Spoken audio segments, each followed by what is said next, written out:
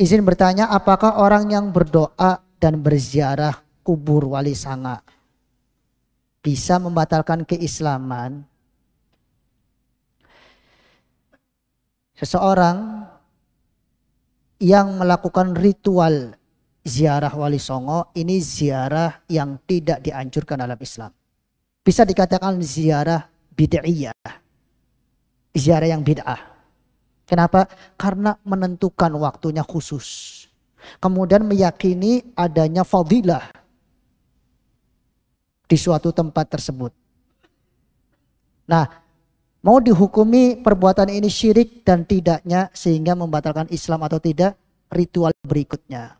Ketika dia berdoa di kuburan di situ, kemudian minta berkat di kuburan situ, maka ini jelas membatalkan keislaman. Iya dan billah tabaraka wa ta'ala. Yang dianjurkan ialah ziarah kubur secara umumnya. Nabi bersabda, kuntu nahaitukum an ziaratil kubur. Dulu aku melarang kalian dari ziarah kubur.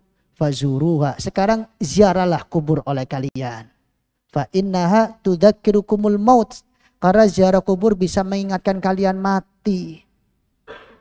Secara umum ya. Adapun yang kita saksikan zaman sekarang ritual ziarah Wali Songo ini termasuk syuddur rihal, perjalanan jauh yang tidak dianjurkan oleh agama Allah Subhanahu wa taala. Nabi bersabda, "La tusyaddur rihal illa ila thalathati masajid." Enggak boleh melakukan perjalanan jauh yang meyakini di tempat tersebut ada keberkahan tertentu kecuali di tiga masjid. Masjidil Haram, Masjid Nabawi dan Masjid apa? Masjidil Aqsa.